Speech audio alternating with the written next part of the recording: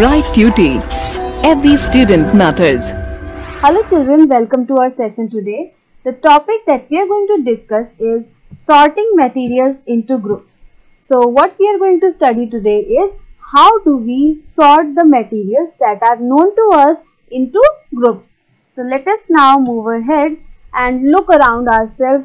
A number of objects you can observe I'm sure and uh, you have to classify them or sort them into different groups. So after observing the objects, you can sort them on the basis of their shapes, colors and uses. So we will first discuss how you can sort the objects as per their shapes. So we will have to observe the objects around us and you will figure out the round objects around you and you will make a table and list all the round objects and this may include a rubber ball, a football, a glass marble, a donut, a wheel and even sun, moon when it's full moon day.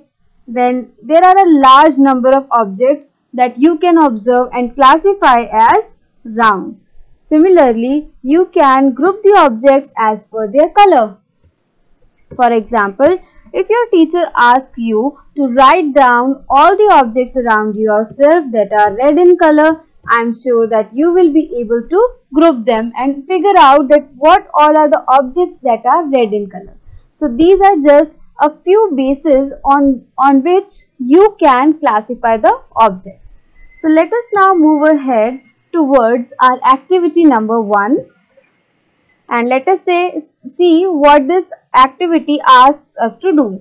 It says that collect the different objects from around yourself like pen, pencil, notebook, plates, etc.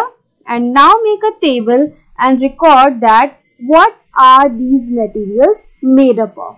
And you will make a table like this. You can observe it from this picture. Then we have made two columns. First column states the objects and second column states the material that these objects are made up of. For example, if you have selected the plate, you can write its material whether it is made up of steel or is it a disposable plastic one. Then you can write about your pen that it is made up of plastic and you have to make a table of all the objects around you. And I'm sure that you will be able to classify them on the basis of the material that is used for making them. But before moving ahead, our friend Boojho has a little problem. And let us see what he wants to know. Boojho wants to know whether you found some materials that were used for making more than one type of an object. That is, same material is used for making more than one type of object. And I think you can definitely help our friend. For example, say chair, pen, toys, they are all made up of plastic. And so, plastic is a material that is used to make a large number of objects.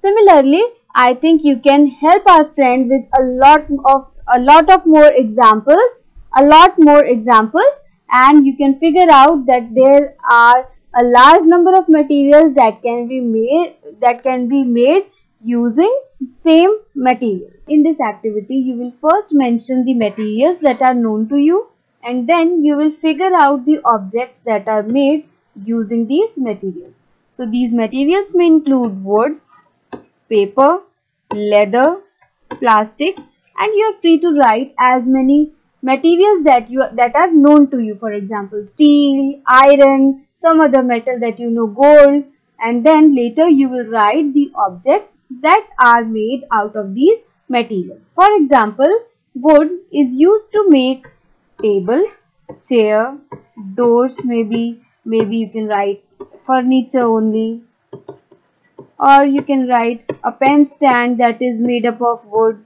and so on. Then you will write the objects that are made up of paper and this may include notebooks, books, papers and again you can write as many examples that you see around yourself. So this is basically a real life activity wherein you are learning that the different objects are made up of different materials. So in both the activities 1 and 2, we learned that how to we sort the objects based on the materials that are used to make them. And in our coming session, we will move ahead with this chapter. Thank you for your attention.